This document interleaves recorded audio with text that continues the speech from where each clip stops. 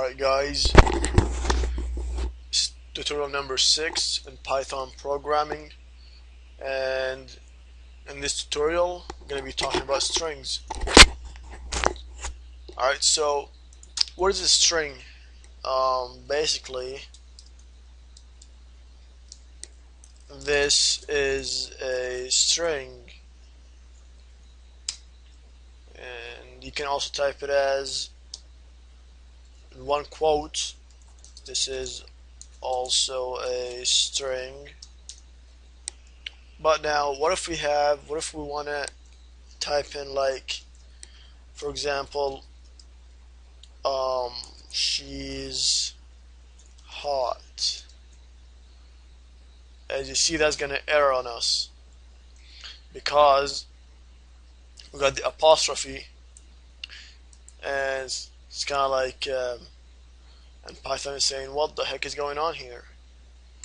So what we need we need something called a Python escape character and we're gonna use a backslash for this. So we're gonna do so she is hot.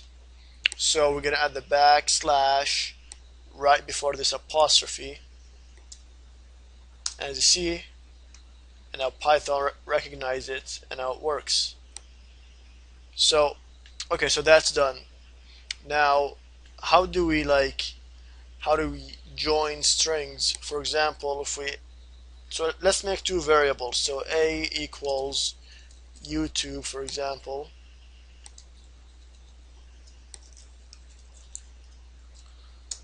And let's set b equals to eternalizing. So you can either do it as a comma b and hit enter or you can just say it as a plus b and hit enter. Alright so that's pretty simple and easy. Thank you all for watching. Stay tuned for the next tutorial